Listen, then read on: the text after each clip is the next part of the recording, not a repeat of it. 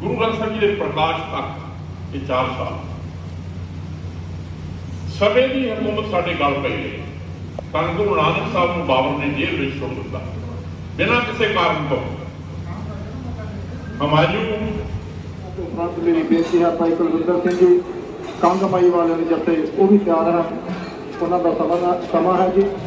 ਸੋ ਬੇਨਤੀ ਹੈ ਜੀ, ਪ੍ਰਵਾਨ ਕਰਨੀ। ਆਓ।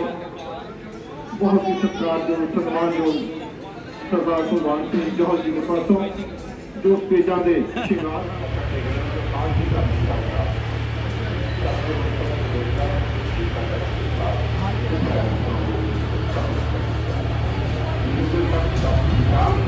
ਹਾਂਜੀ, ਕਿੱਦਾਂ ਸਾਰੇ? ਠੀਕ ਠਾਕ ਹੋ? ਆਈ ਹੋਪ ਸਾਰੇ ਠੀਕ ਹੋਵੋਗੇ ਤੇ ਗੁਰੂ ਅਰਜਨ ਦੇਵ ਜੀ ਦਾ ਸੀਗਾ ਸ਼ਹੀਦੀ ਦਿਹਾੜਾ। ਸਾਡੇ ਅੱਜ ਮਨਾ ਰਹੇ ਗੁਰਦੁਆਰੇ ਭੋਗ ਸੀਗਾ। ਤੇ 6 ਜੂਨ ਨੈਵਰ 1984 ਸੰਤ ਜੀ ਗਿਆਨੀ ਜਰਨੈਲ ਸਿੰਘ ਖਾਲਸਾ ਪਿੰਡਰਾਂ ਵਾਲੇ। ਤੇ ਕੋਟ ਕੋਟ ਪ੍ਰਣਾਮ ਉਹਨਾਂ ਦੀ ਸ਼ਹਾਦਤ ਨੂੰ। ਤੇ ਹੁਣ ਚਲੋ ਆਪਾਂ ਗੁਰੂ ਘਰ ਜਾਈਏ ਬਣੇ ਰਹੋ ਆਪਣੀ ਵੀਡੀਓ ਦੇ ਨਾਲ। ਕੇਕਣੇ ਮੇਖਣੇ ਕਰਦੇ ਤੇ ਭੋਗ ਵੀ ਪੈ ਗਿਆ ਵਾ ਸਪੀਕਰ ਵੀ ਬੰਦ ਹੋ ਗਿਆ। ਹੈ?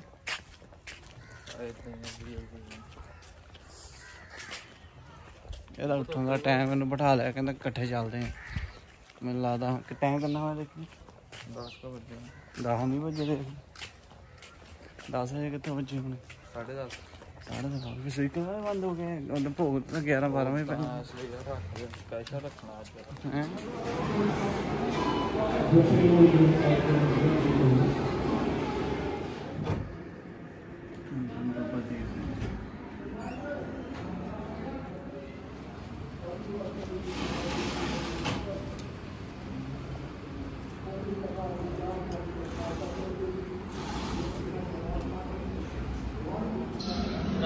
ਗਿਆ ਜਿਹੜੇ ਪਕੌੜਿਆਂ ਦੇ ਵਾਲੇ ਇੱਥੇ ਵੀ।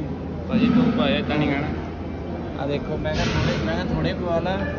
ਕਹਿੰਦਾ ਥੋੜੇ ਨਾਲ ਗੱਲ ਚਾਹ ਪੀਣੀ ਆ। ਪਕੌੜੇ ਛੱਕ ਕੇ ਇਹਨੂੰ ਸੇਵਾ ਕਰ ਲਈਏ। ਕੈਂਪ ਲੱਗਾ ਬਚਨ ਘਟਾਓ ਬਟਨ ਪੜਾਓ ਤੇ ਉੱਪਰ ਮਾਰਾ ਕੀਰਤਨ ਦਰਵਾਜ਼ਾ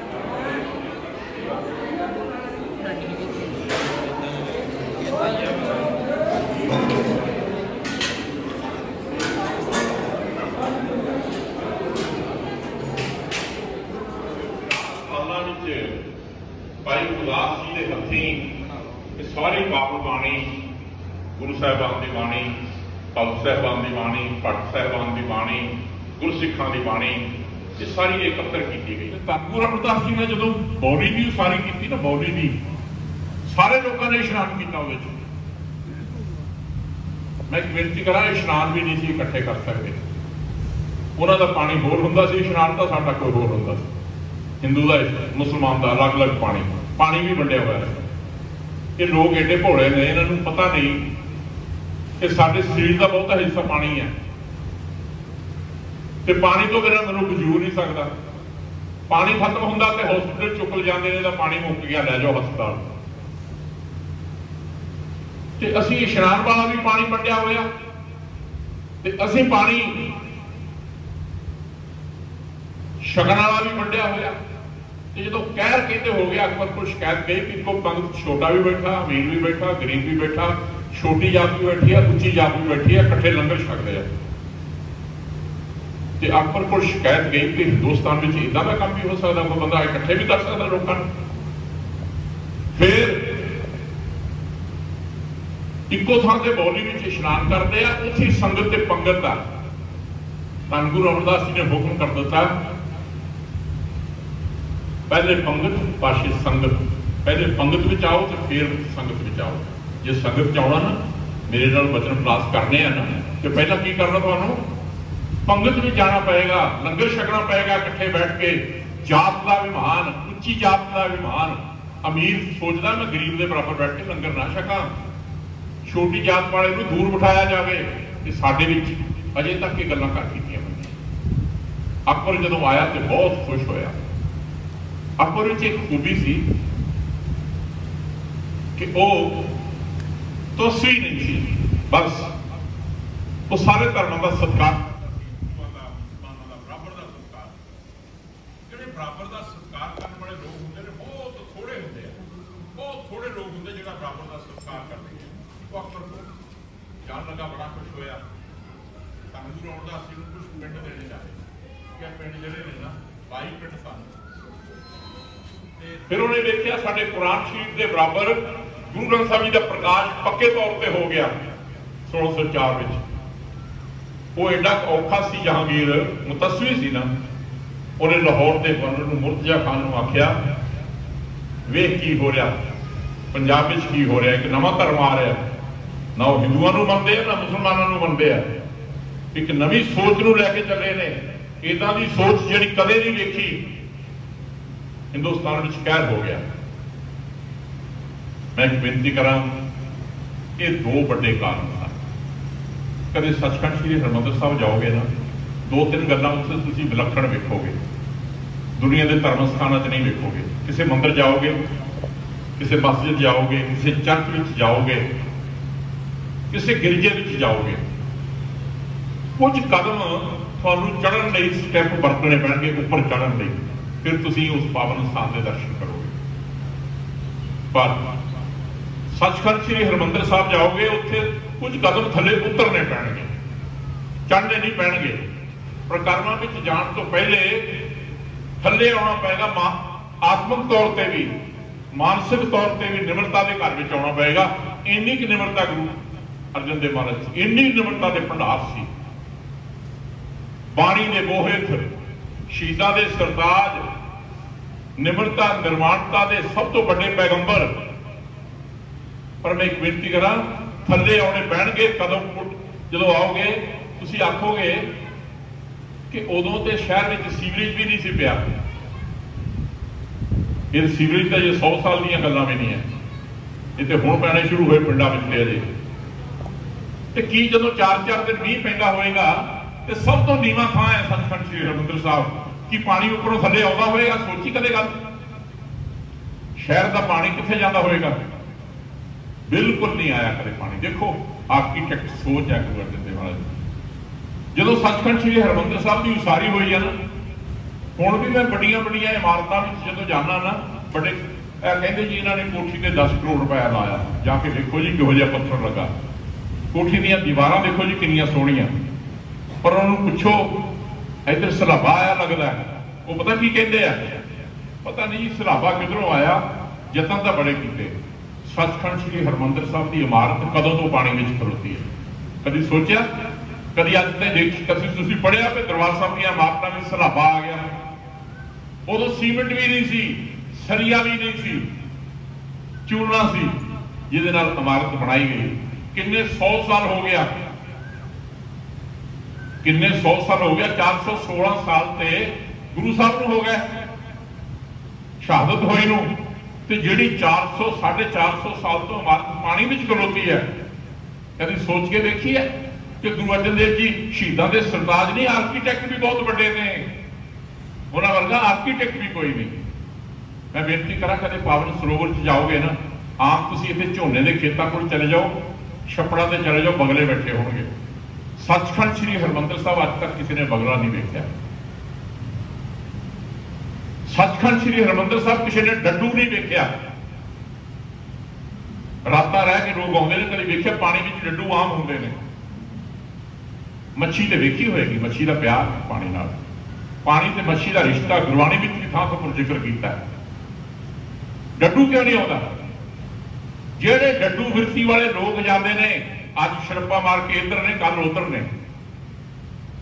ਤੁਸੀਂ ਵੇਖਿਆ ਨਾ ਲੋਕ ਪਿੰਡਾਂ 'ਚ ਵੀ ਇਦਾਂ ਹੁੰਦੇ, ਅੱਜ ਇੱਧਰ ਆ ਤੇ ਦੂਜੇ ਦਿਨ ਉੱਧਰ ਹੁੰਦੇ ਆ, ਤੀਸਰੇ ਦਿਨ ਉੱਧਰ ਹੁੰਦੇ ਆ। ਡੱਡੂ ਫਿਰਤੀ ਵਾਲਾ ਮਨੁੱਖ ਜੇ ਜਾਂਦਾ ਤੇ ਉਹ ਕਦੇ ਸਾਬਤ ਸਬੂਤਾ ਨਹੀਂ ਆਇਆ, ਦਰਬਾਰ ਸਾਹਿਬ ਤੋਂ ਗਿਆ ਹੋਇਆ। ਸੱਚਖੰਡ ਸ੍ਰੀ ਹਰਮੰਦਰ ਸਾਹਿਬ ਤੇ ਡੱਡੂ ਵੀ ਪ੍ਰਵਾਨ ਨਹੀਂ। ਡੱਡੂ ਬਿਰਤੀ ਵੀ ਪ੍ਰਵਾਨ ਨਹੀਂ। ਇੱਕ ਬਗਲਾ ਬਿਰਤੀ ਹੈ। ਬੜੀ ਮਾੜੀ ਬਿਰਤੀ ਬਗਲੀ। ਬਾਹਰੋਂ ਬੜੇ ਸੋਹਣੇ ਬਣ ਕੇ, ਚਿੱਟੇ ਬਣ ਕੇ ਰਹਿੰਦੇ ਨੇ, ਅੰਦਰੋਂ ਬੜੇ ਕਾਲੇ ਤੇ ਕਸੂਤੇ ਹੁੰਦੇ ਨੇ। ਬਗਲੇ ਉਹਨਾਂ ਦੀ ਖੁਰਾਕ ਬੜੀ ਮਾੜੀ ਹੁੰਦੀ ਹੈ, ਉਹਨਾਂ ਦਾ ਖਾਣਾ ਪੀਣਾ ਬੜਾ ਮਾੜਾ ਹੁੰਦਾ ਸੱਚਖੰਡ ਸ੍ਰੀ ਹਰਮੰਦਰ ਸਾਹਿਬ ਬਗਲਾ ਬਿਰਤੀ ਵੀ ਪ੍ਰਵਾਨ ਨਹੀਂ ਜਿਹੜੇ ਲੋਕ ਬਗਲਾ ਬਿਰਤੀ ਨਾਲ ਗਏ, ਅੱਜ ਤੱਕ ਗਏ, ਕੋਈ ਹਕੂਮਤ ਵੀ ਗਈ, ਅੱਜ ਦੀ ਹਕੂਮਤ ਗਈ, ਜਾਂ ਉਹ ਮੁਗਲ ਹਕੂਮਤ ਗਈ, ਜਿਸ ਬਿਰਤੀ ਨਾਲ ਗਈ, ਉਹ ਬਿਰਤੀ ਵੀ ਉੱਥੇ ਪ੍ਰਵਾਨ ਨਹੀਂ। ਜਿਹੜਾ ਬਗਲਾ ਬਿਰਤੀ ਨਾਲ ਗਿਆ ਨਾ, ਉਹ ਬੁਰੀ ਤਰ੍ਹਾਂ ਡਿੱਗ ਕੇ ਆਇਆ, ਉੱਥੋਂ ਟੱਟ ਕੇ ਆਇਆ। ਜਾਂ ਉਹ ਖਤਮ ਹੀ ਹੋ ਗਿਆ ਦੁਨੀਆ ਤੋਂ।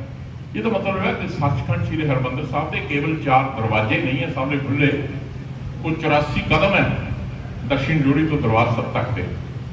ਉਹ ਜਿਹੜੇ 84 ਕਦਮ ਹੈ ਨਾ ਜੀ, ਉਹ ਤੁਹਾਡੀ 84 ਨੂੰ ਵੀ ਕੱਟਦੇ ਨੇ। ਜਦੋਂ ਸਾਈ ਮੀਆਂ ਮੀਰ ਜੀ ਨੂੰ ਲੈਣ ਗਏ ਨੇ ਨਾ, ਤੇ ਆਪਣੇ ਮਿੱਤਰਾਂ ਨੂੰ ਮੈਂ ਇਕੱਠਾ ਕਰਨਾ। ਤਾਂ ਗੁਰੂ ਅਰਜਨ ਦੇਵ ਜੀ ਕਹਿੰਦੇ ਸੀ, ਮਿੱਤਰ ਸਾਈ ਮੀਆਂ ਮੀਰ ਜੀ ਨੇ ਕਿਹਾ, ਨਕਸ਼ਾ ਪਿਆਰ ਕੀਤਾ। ਕਹਿੰਦੇ ਅਕਬਰ ਪਤਾ ਕੀ ਆਂਦਾ?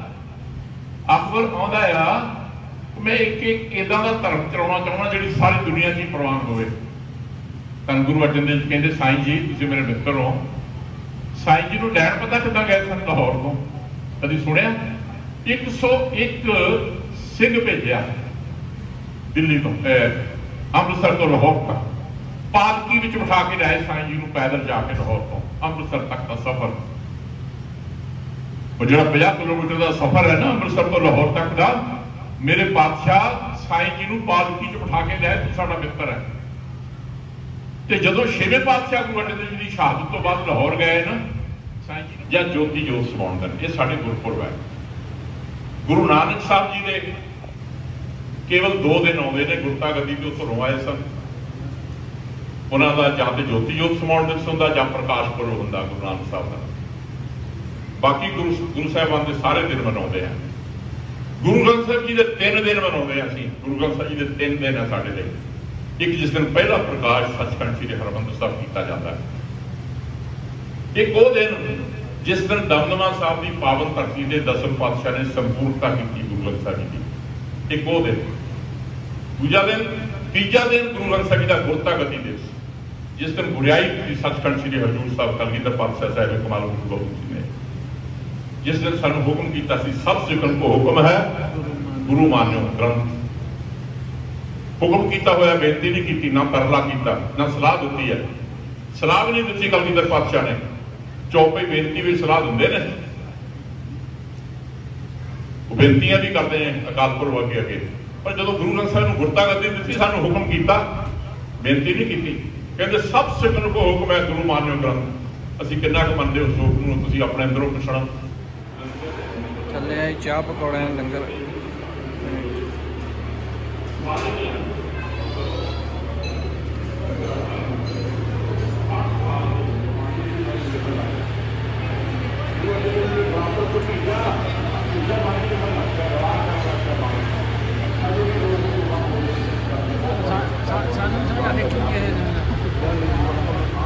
ਤੁਸੀਂ ਵੀ ਅਕੀਦਤ ਤੇ ਸ਼ਰਧਾ ਤੇ ਪਿਆਰ ਨਾਲ ਆਏ ਹੋ ਸਭ ਤੁਸੀਂ ਤੁਹਾਡੀ ਸ਼ਰਧਾ ਤੇ ਪ੍ਰਵਾਨ ਕਰਨਗੇ। ਹੋਈਆਂ ਭੁੱਲਾਂ ਦੀ ਖਿਮਾ ਕੋਈ ਅੱਗੇ ਪਿੱਛੇ ਗੱਲ ਹੋ ਗਈ ਹੋਵੇ ਸੋਚ ਕੇ ਪ੍ਰਵਾਨ ਕਰ ਲਿਓ। ਫਤਿਹ ਅੱਜ ਕਰ ਰਹੇ। ਵਾਹਿਗੁਰੂ ਜੀ ਕਾ ਖਾਲਸਾ। ਵਾਹਿਗੁਰੂ ਜੀ ਕੀ ਫਤਿਹ। ਵਾਹਿਗੁਰੂ ਜੀ ਕਾ ਖਾਲਸਾ। ਵਾਹਿਗੁਰੂ ਜੀ ਕੀ ਫਤਿਹ। ਆਪ ਸੰਤਾਂ ਦੇ ਸੰਮੁਖਤ ਸਤਿਕਾਰਯੋਗ ਸਰਦਾਰ ਭਗਵਾਨ ਸਿੰਘ ਜੀ ਜਹਾਜ਼ ਜਿਨ੍ਹਾਂ ਨੇ ਆਪ ਜੀ ਨੂੰ ਸਤਿਗੁਰਾਂ ਦੀ ਜੀਵਨ ਦੇ ਸੰਬੰਧਤ ਉਹਨਾਂ ਦੀ ਸ਼ਹੀਦੀ ਦੇ ਕਾਰਨਾਂ ਵਾਸਤੇ ਆਪ ਜੀ ਨੂੰ ਸਰਬਤ ਕਰਾਇਆ ਜੀ। ਇਹ ਗੁਰੂ ਕੇ ਬਚਨ ਹਨ। ਗੁਰੂ ਕੇ ਬਚਨਾਂ ਨੂੰ ਮੰਨਣ ਦਾ ਹਰ ਸਿੱਖ ਦਾ ਜੋ ਉਹਨਾਂ ਦਾ ਫਰਜ਼ ਹੈ। ਸੋ ਆਪ ਜੀ ਦਾ ਬਹੁਤ ਬਹੁਤ ਧੰਨਵਾਦ ਹੈ ਜੀ। ਸਤਿਗੁਰੂ ਜੀ ਕਿਰਪਾ ਕਰ। ਸਤਿਗੁਰੂ ਜਨੋ ਸਤਿਗੁਰਾਂ ਦੀ ਸ਼ਹੀਦੀ ਦੇ ਸਤਿਗੁਰਾਂ ਨੇ ਸਾਡੇ ਉੱਤੇ ਧੰਨ ਸ਼੍ਰੀ ਗੁਰੂ ਗ੍ਰੰਥ ਸਾਹਿਬ ਜੀ ਸੰਪਾਦਨਾ ਕਰਕੇ ਸਾਨੂੰ ਇੱਕ ਨਾਮ ਦਾ ਜਹਾਜ਼ ਦੇ ਸਾਰੇ ਸਾਗਰ ਤੋਂ। ਪਰ ਵਾਸਤੇ ਐਡਾ ਵੱਡਾ ਖਜ਼ਾਨਾ ਦੇ ਦਿੱਤਾ। ਇਹ ਖਜ਼ਾਨੇ ਨੂੰ ਬਹੁਤ ਸਾਰੇ ਹੋਰ ਵੀ ਲੋਕਾਂ ਨੇ ਯਤਨ ਕੀਤਾ ਕਿ ਸਾਡੀ ਵੀ ਹੈ ਨਾ ਸਮਝ ਲਿਓ ਗੁਰੂ ਸਾਹਿਬ ਦੇ ਦਰਸ਼ਨ ਹੀ ਬਹੁਤ ਹੈ। ਗੁਰੂ ਸਾਹਿਬ ਜੀ ਨਾਲ ਪਿਆਰ ਕਰਨਾ ਪੈਣਾ। ਔਰ ਇਸ ਸ਼ਬਦ ਨਾਲ ਜੁੜਨਾ ਪੈਣਾ ਸ਼ਬਦ ਕੋ ਪੀਰਾ ਗਹਿਰ ਗੰਭੀਰਾ ਬਿਨ ਸ਼ਬਦ ਦੇ ਜਗ ਬੋਰਾ ਨਹੀਂ। ਸਤਿਕਾਰਯੋਗ ਬਾਬਾ ਸੁਦੇਵ ਸਿੰਘ ਜੀ ਹੋਰਾਂ ਨੂੰ ਇਸ ਗੱਲ ਦਾ ਸ਼੍ਰੇ ਜਾਂਦਾ ਮਾਣ ਜਾਂਦਾ। ਕੁਝ ਸ਼ਹੀਦਾਂ ਦੇ ਗੁਰਪੁਰਬ ਮਨਾਉਂਦੇ ਨੇ ਗੁਰੂ ਸਾਹਿਬ ਦੇ ਪਕੌੜਿਆਂ ਤੋਂ ਹੁਣ ਨੇ। ਪਾਣੀ ਚੱਕ ਲਿਆ। ਤੇ ਇੱਥੇ ਖਾਸ ਮੈਂ ਤਾਂ ਮਣੀ ਨੂੰ ਲੈ ਕੇ ਜਾ ਮੈਂ ਚੱਲਾਂ ਮੈਂ ਦੱਸਿਆ ਨਹੀਂ ਤੇ ਇਹਦਾ ਮੈਂ ਕਿਹਾ ਸ਼ਾਇਦ ਨਹੀਂ ਜਾਣਾ ਉਹਨਾਂ ਦਾ। ਮੈਂ ਤਾਂ ਵੀਡੀਓ ਬਣਾਉਣੀ ਬਣਾ ਕੇ ਚੱਲਾਂ। ਉਹ ਕੀਰਤ ਤੈਨੂੰ ਮੈਂ ਬਾਜਾ ਮਾਰੀ ਜਾਂਦਾ ਕਿੱਦਾਂ ਹੈ? ਠੀਕ ਹੈ? ਪਕੌੜੇ ਖਾ ਲੈ ਵਾਹਿਗੁਰੂ ਕਰਤਾ? ਜਾ ਵਾਹਿਗੁਰੂ ਕਰਿਆ ਵੇ। ਅਜੇ ਮੱਥਾ ਟੇਕਣਾ। ਹੈ? ਕੀ ਕਰਿਆ ਵੇ। ਜਾ।